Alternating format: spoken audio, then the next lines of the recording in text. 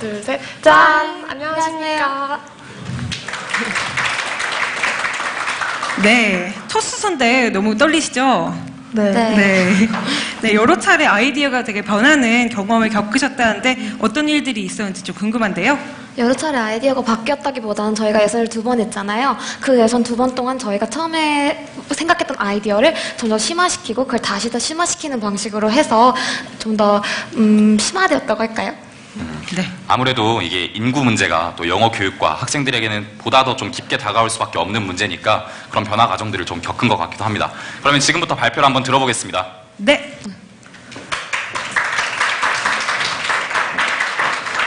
네, 발표 시작하겠습니다.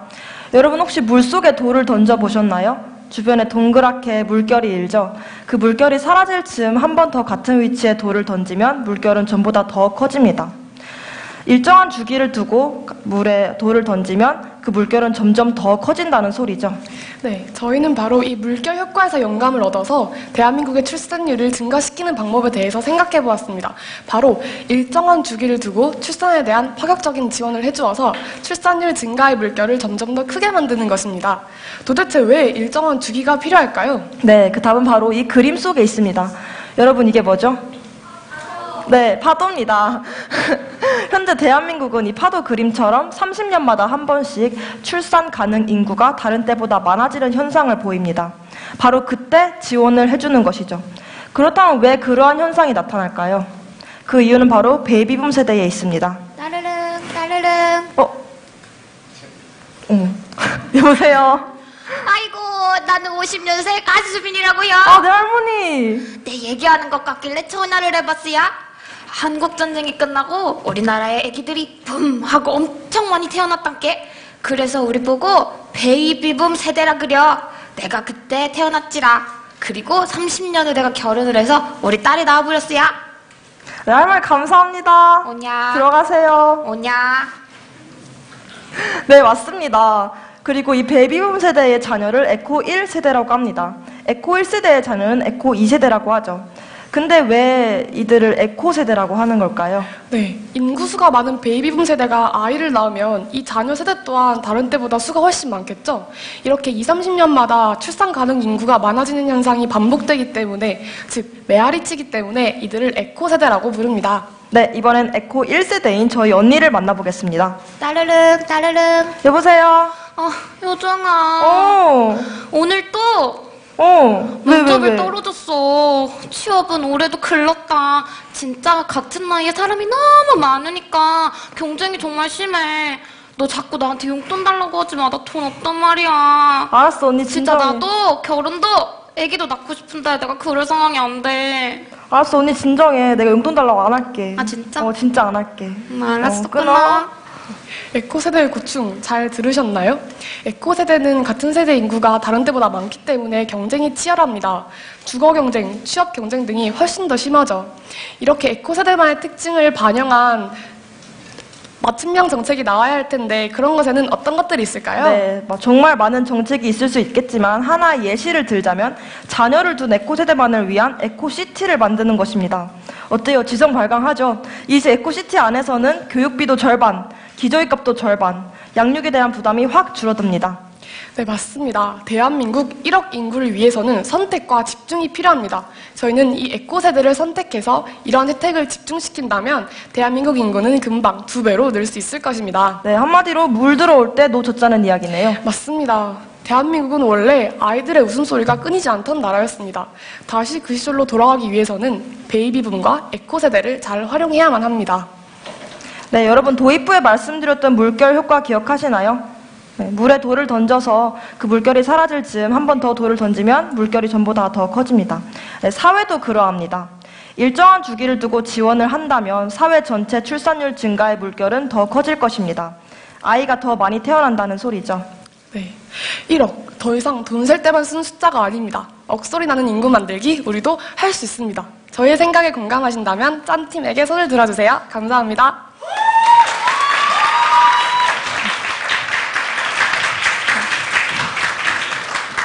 네, 짠 팀의 발표 잘 들어봤는데요. 다음은 질의응답 시간을 가져볼 거예요. 해당 팀이 제시해둔 해법이나 아이디어에 대해 관객 여러분들이 자유롭게 1분 내로 질문 주시면 되겠습니다. 아, 네, 그 전에요. 지금 이제 뒤에 이미지가 하나밖에 나오지 않아서 발표 도중 혹시 바뀌지 않을까 하는 분들이 계실 텐데, 그런데 뒤에 이미지는 앞으로도 계속 하나의 이미지로서 월 이미지 하나를 두고 각 팀이 어떻게 발표를 하는지 두고 보는 게 좋으실 것 같습니다. 네, 저 질문 받겠습니다. 혹시 질문해 주시, 네. 베이브 붐 세대를 이용하신다고 하셨는데 다른 세대와 얼마나 큰 인구수의 차이가 있는지 궁금합니다. 아, 바로 답변 드리겠습니다. 네. 베이비붐 세대 이전에는 보통 한 해에 3, 40만 명의 아이가 태어났는데 베이비붐 세대 때는 한 해에 딱 두세 배에 많은 8, 90만 명의 아이들이 태어났어요. 그래서 저희는 그들을 이용하기로 생각했습니다. 네. 저기 손들어 주신 여- 여성분. 네. 아, 우선은 발표 너무 잘 들었고요. 감사합니다. 네, 지금 아이디어를 종합을 해보면 베이비붐 세대가 그리고 그, 그 세대가 낳은 아이들을 활용해서 그래서 그러니까 그 어차피 많이 낳을 거 더 많이 낳게 해서 인구를 증대시키는 방안이라고 요약을 할 수가 있겠는데요. 근데 제 생각에는 어차피 정말 어차피 많이 낳을 건데 그냥 한 사람당 한 그러니까 그 베이비붐 세대가 한 가정당 한 아이만 낳아도 어차피 3, 40명 더 많을 3, 30만 명 더 많을 거 아니에요. 그럴 거면 차라리 막 뭐 전쟁이나 이런 것 때문에 애가 확 줄어든 그 세대가 있을 거 아니에요. 말씀하신 대로 출산율의 주기가 있다면 그러면 그 세대한테 오히려 더 장려해서 더 많은 아이를 낳게 하는 게 궁극적으로는 더 인구 증가에 도움이 되지 않을까라는 생각합니다. 그래서 거기에 대해서 어떻게 생각하시는지 쨈 팀의 의견을 여쭤보고 싶습니다.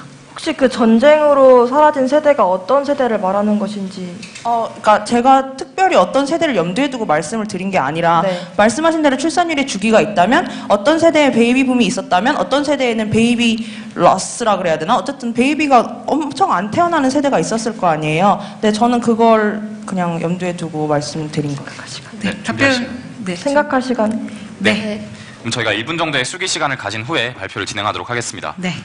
어, 그러니까 이제 어차피 베이비붐 세대 는 아기들을 낳게 되면 그 인구만큼 더 증대가 되는데 네. 베이비붐이 아닌 세대들에게 오히려 더 좀 혜택을 주면서 인구를 늘리는 방법도 있지 않느냐 이런 질문이었던 것 같은데요. 네. 어, 그 질문에 대한 대답을 이제 곧 들으실 수 있을 것 같습니다. 네, 굉장히 활발하게 지금 논의를 진행 중이십니다.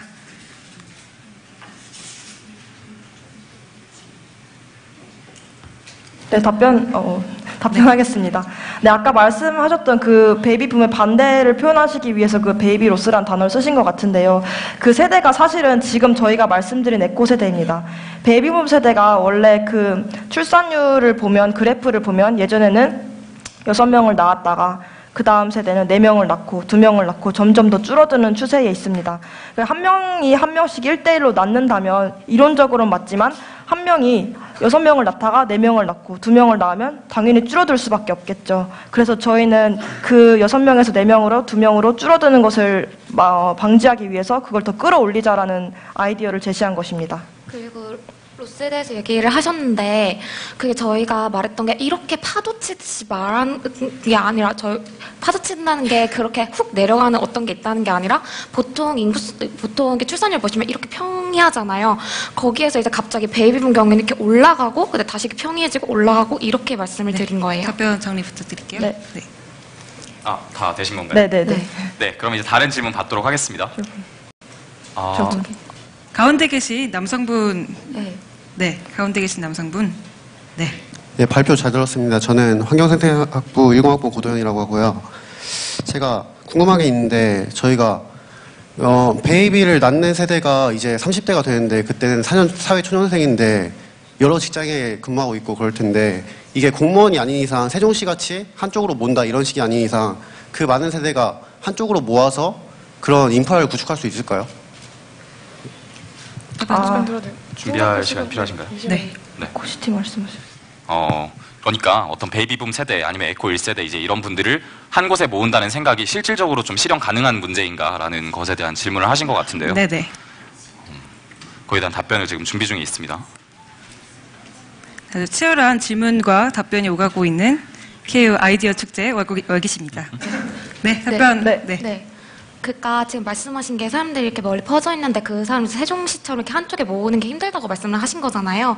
그러면 이렇게 도에 하나씩 그런 특구를 만든다면 그게 해결책이 될 수 있지 않을까요? 어떤 그 전체적인 이 우리나라 전체에 하나만 만든다는 거는 말씀하신 것처럼 그렇게 사람들 모은다는 게 제 생각에도 불가능할 것 같고 그래서 저희가 생각하는 건 도에 하나씩 시 하나씩 이렇게 만드는 식으로 하면 좋을 것 같습니다. 근데 어직 어, 저희가 지금 발표를 하는데 가장 중요한 거는 30년마다 혹은 돌아오는 주기마다 지원을 하자는 것이 가장 중요한 저희 아이디어고 에코시티는 하나의 예시를 드린 거기 때문에 자세한 정책을 언급을, 언급을 일부러 말씀을 안 드린 것이고 또 도에 하나씩 만들자 이것도 하나의 예시이기 때문에 저희 아이디어는 이 물결 칠 때 그거를 지원하자 이것이 더 중점이라고 봐주시면 감사하겠습니다. 네. 답변 감사합니다. 저기 저기 왜? 저희 근데 심사위원분의 그 질문도 한번 들어보고 싶은데요. 저희 심사위원진 분들께서 좀 질문을 좀 해주실 분이 네 질문 부탁드립니다. 너무 잘 들었습니다. 좋은 아이디어신데요. 궁금한 게 세대별로 이제 구분하셔서 정책을 만드시는 거잖아요. 세대 간의 어떤 갈등이 있을 수도 있을 것 같다는 생각도 들고요. 또 하나는 이제 끼인 세대가 있을 것 같아요. 근데 에코 1세대와 2세대 사이에는 역차별을 느껴서 반발 심리로 상쇄가 될 수도 있을 것 같은데 그런 네, 바로 답변 드리겠습니다. 네. 어, 지금 말씀하신 게 지금 주기적으로 하기 때문에 그 지원을 받지 못하는 세대와 그렇지 않은 세대의 격차를 어, 우려를 하신 것 같은데 저희 이 아이디어가 출산을 장려하는 정책이 모든 세대에 지원이 된다는 것을 전제로 합니다. 다만 출산율을 더 높일 수 있는 가능성이 더 높은 세대에 선택과 집중하는 추가적인 지원을 저희는 말씀드린 것입니다.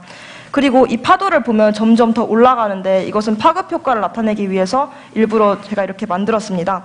이거 어, 관객분들 혹시 이해가 안 가실까봐 말씀을 드리자면 학급에서 교사가 한 학생을 학생의 행동에 대해 언급하면 다른 학생도 그 교사의 언급에 영향을 받아서 행동의 변화가 나타날 수 네. 있습니다. 답변 정리 부탁드릴게요. 네, 이것처럼 파급 효과가 전 세대가 만들어낸 긍정적인 영향이 다음 세대에도 끼칠 수 있기 때문에 그런 결과가 나타 유기적으로 결과가 나타날 수 있다고 생각합니다. 네, 굉장히 질문이 또 많이 남으실 것 같은데 시간 관계상 이것으로 질의응답을 마무리하도록 하고요. 저희 첫 번째 팀 짠 팀 만나봤습니다 감사합니다. 박수 주세요.